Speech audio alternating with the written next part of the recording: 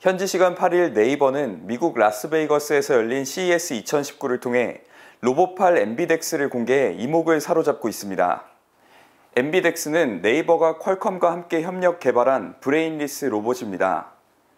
brainless 로봇은 두뇌에 해당되는 고성능 프로세서를 분리한 뒤 5G 이동통신 기술로 외부 고성능 프로세서와 팔을 연결했습니다. 사물 인터넷 방식과 같이 고성능 프로세서는 외부에 있고 하드웨어만 조정되는 방식입니다.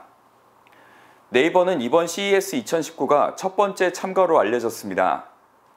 국내 1위 포털 사이트로 자리 잡은 만큼 온라인 플랫폼과 관련된 사업을 선보일 것으로 전망됐지만 예상을 깨고 4차 산업혁명의 주된 기술을 속속 공개해 이목을 끌었습니다.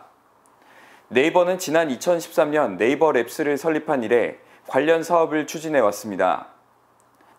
네이버 랩스는 현재 일상생활 속에 IT 기술로 편리함을 더할 수 있는 생활 환경 지능에 심혈을 기울이는 중입니다.